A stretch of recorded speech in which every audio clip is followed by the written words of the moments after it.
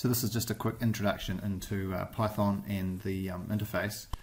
When you first open Python, uh, it's going to open what's called shell and it looks a bit like this. You can see at the top there it says Python, uh, then the version number and then shell and you get all the information across the top. And while you can run a line of code here, this is not typically where you will write your programs. This is just um, where the programs will run and the output will appear. So for example, you know, I can put in a maths equation here, 2 plus 2, and it does actually output something. Uh, but if I'm going to write lots of code, I want to do that in the uh, what's called the IDLE interface. And uh, to open that, I'm just going to go File, and I can either open an existing program or create a new one.